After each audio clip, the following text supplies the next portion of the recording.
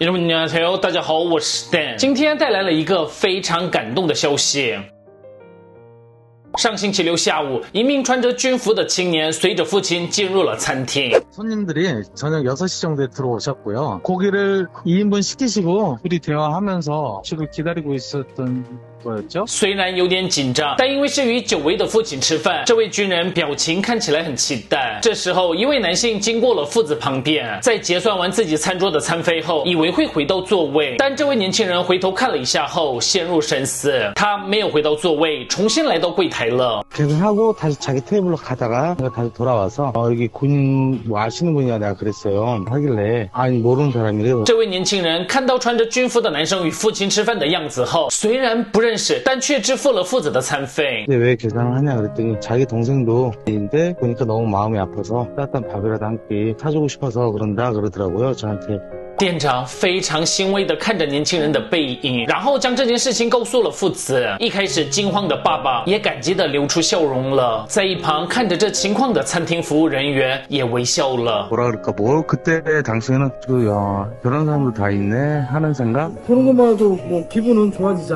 这位年轻人与同行在喝了最后一杯后就起身离开对父子的道谢点头回应后他非常迅速地走出了餐厅 흔하지 않는 일이죠. 이런 일은. 그 젊은 사람이 잘생겼어요. 놀랍다는 생각이 들죠. 좀 배 아픈 정도?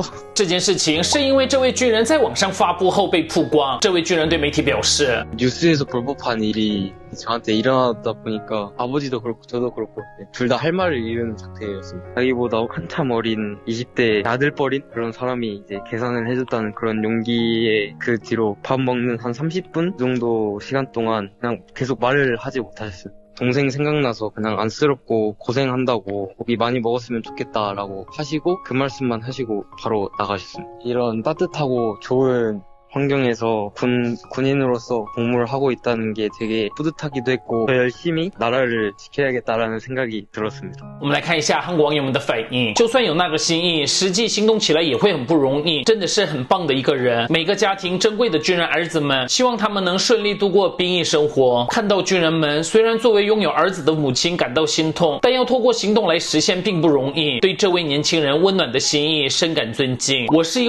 在服兵役的妈妈，看到 这个影片感到非常感动，不由得流下眼泪。不知道是哪位家长竟然拥有如此内心深沉的儿子。我也感到非常感激。感谢您传递了对军人的温暖之情。现在这个时间也仍在保卫国家的军人们，非常感谢您。希望我们的国家能够更好的对待军人们。